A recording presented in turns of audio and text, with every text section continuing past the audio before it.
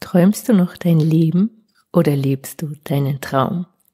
Ich glaube, diese Frage stellt sich jede Frau oder zumindest ganz, ganz viele Frauen, wenn sie in der Lebensmitte ankommen, weil wir dann feststellen, dass das Leben endlich ist und wir wollen diese Zeit, die noch vor uns liegt, sinnvoll nutzen, sodass wir am Ende unseres Lebens sagen können, dass wir ein sinnvolles, ein erfülltes Leben gelebt haben.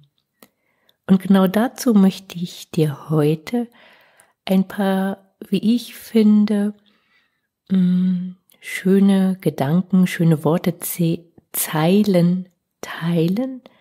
Und zwar sind die nicht von mir, sondern von einem Mann, die er kurz vor seinem Tod zu Papier gebracht hat. Und äh, da freue ich mich sehr, dass ich sie mit dir teile und sage Hallo und herzlich willkommen bei Meno Cool, der Podcast für deine wirklich coole Menopause. Ich bin Petra Orzech, studierte Ernährungswissenschaftlerin, Yogalehrerin, Autorin, Journalistin und Gründerin der Meno Detox Kur, der Online Live Kur für eine gesunde, schlanke und energievolle Menopause. Die Idee für die Meno Detox Kur ist durch meine eigenen Erfahrungen und Herausforderungen mit der Menopause gekommen. So kannst du dich hier im Menocool Podcast auf inspirierende Informationen, fundiertes Know-how sowie meinen persönlichen Tipps und Erfahrungen für eine wirklich coole Menopause freuen.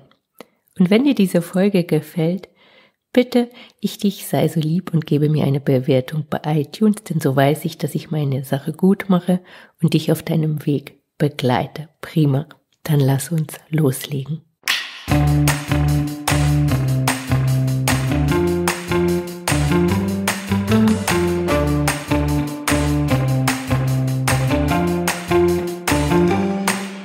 Jetzt hast du gerade gehört, dass ich mich extrem viel mit Ernährung beschäftige, mit der Menodetox-Kur, die ich entwickelt habe und jetzt dieses Thema mit den Träumen mit dem Leben. Da fragst du dich bestimmt, hm, wie kommt die Petra denn jetzt da drauf? Natürlich sind es auch Themen, die mich beschäftigen. Inspiriert worden zu diesem Thema eine Podcast-Folge aufzunehmen, bin, bin ich von Gela, Gela Löhr, das ist die Chefredakteurin von Lemon Days, das ist ein Online-Magazin für, hm, für reife, moderne Frauen, die mitten im Leben stehen. Und ähm, ich bin selbst auch Teil des Redaktionsteams, schreibe ähm, Rezepte, entwickle Rezepte für Lemon Days, produziere Yoga-Videos ähm, und ja, gebe da mein Know-how weiter. Und die Gela hat zu einer Blogparade aufgerufen, eben zu diesem Thema. Träumst du noch dein Leben oder lebst du deinen Traum? Und da ich ja diesen Podcast habe und ich mir auch darüber Gedanken mache, hm, dann teile ich mal meine Gedanken, beziehungsweise wie ich dir schon gesagt habe, ein paar Worte von jemand anderem, die ich sehr schön dazu finde, ähm, die, wie ich finde, also für mich jedenfalls die, dieses Thema, diese Sache nochmal auf eine, eine weitere Ebene bringen.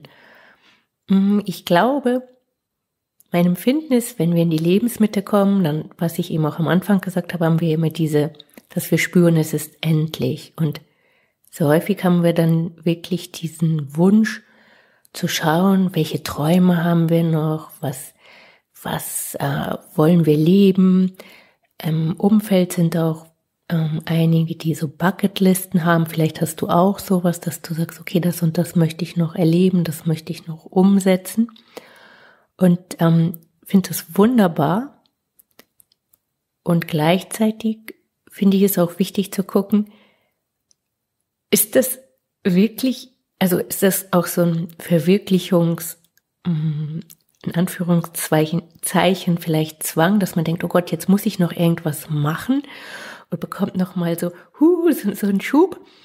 Äh, und wie, wie also das finde ich ganz, ganz wichtig, da wirklich in sich zu schauen, was, was für ein wirklich, wirklich wichtig ist. Super hilft es da, äh, in, ins Herz zu gehen. Es gibt ja wunderbare Meditationen in dem Bereich, um zu schauen, was will ich und nicht, dass ich denke, oh, ich muss noch was machen, damit ich ein gewisses Ansehen habe, damit ich auch was Handfestes habe. Ich glaube, du weißt, was ich meine.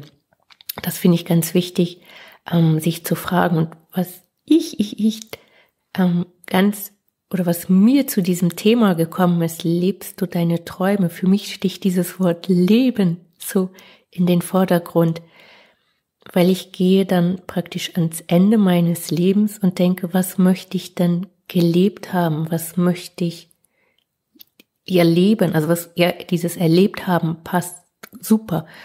Also dieses gespürt haben, war ich in dem Moment. Und für mich sind das sehr häufig, weiß nicht, ob dir das auch so geht, in Anführungszeichen kleine Momente, kleine feine Momente, so magische Momente, die mich sehr bewegen und die für mich sind, die gar nicht so ins, ins Äußere gehen. Aber ich habe mich da gespürt, ich habe das Leben gespürt. Und wenn ich das spüre, dann ist das so ein bisschen in der Art wie meinen Traum leben. Ich hoffe, dass ich dich auf meine Gedanken so mitnehmen kann, was, was ich, ähm, was ich empfinde, was, was ich damit ausdrücken möchte. Und dieses Träume leben, ich glaube, das können wir auch ganz weit runterbrechen. Also so ganz kleine Dinge. Und da, ich habe eine Postkarte, die ich habe die bestimmt schon zehn Jahre und die ist mir eben zu diesem Thema ist sie mir irgendwie in die Hand gefallen. Solche Momente kennst du sicherlich auch. Und dachte ich, wie spannend, wie schön. Und deswegen möchte ich das einmal, wird das dir jetzt hier vorlesen, diese Zeilen. Und zwar ist das ähm, von einem argentinischen Schriftsteller. Der hat eine Vielzahl von fantastischen Erzählungen und Gedichten verfasst. Und das, was ich dir jetzt vorlese, das hat er im Alter von 85 Jahren geschrieben, kurz bevor er gestorben ist. Er wusste, dass er bald stirbt. Und er heißt, ich hoffe, ich spreche es richtig aus, Georges Luis Borges. Und das, was er geschrieben hat, heißt, wenn ich mein Leben noch einmal leben könnte. Im nächsten Leben würde ich versuchen, mehr Fehler zu machen. Ich würde nicht so perfekt sein wollen. Ich würde mich mehr entspannen. Ich wäre ein bisschen verrückter, als ich es gewesen bin. Ich würde viel weniger Dinge so ernst nehmen. Ich würde nicht so gesund leben. Ich würde mehr riskieren, würde mehr reisen, Sonnenuntergänge betrachten. Mehr Bergsteigen, mehr in Flüssen schwimmen. Ich war einer dieser klugen Menschen, die jede Minute ihres Lebens fruchtbar verbrachten.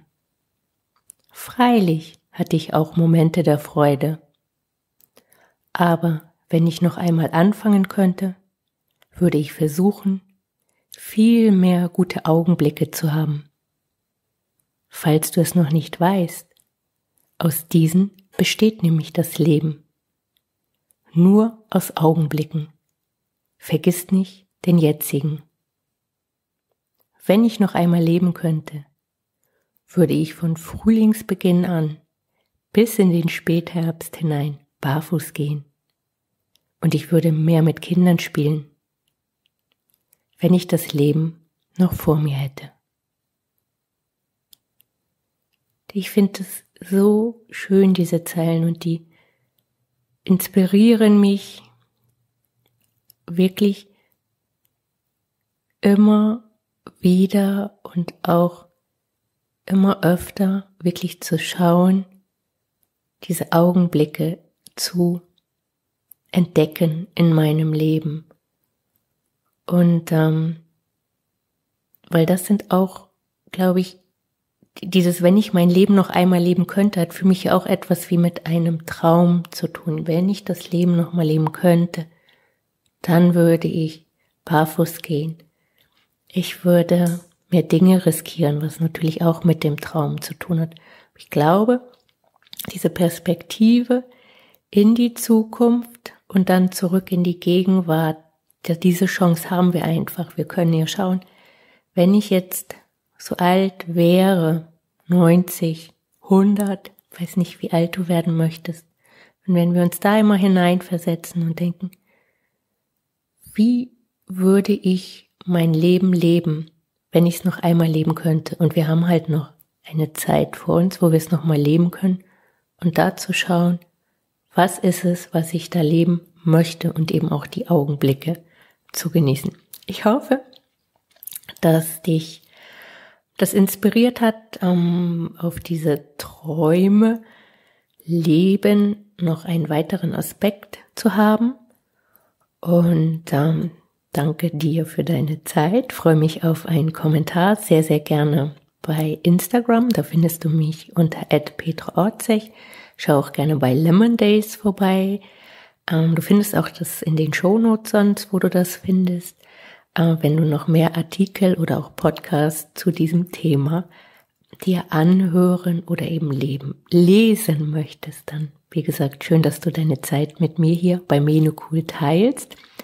Und bestimmt hast du den Podcast auch schon abonniert. Falls noch nicht, dann abonniere ihn am besten gleich, damit du keine Folge verpasst.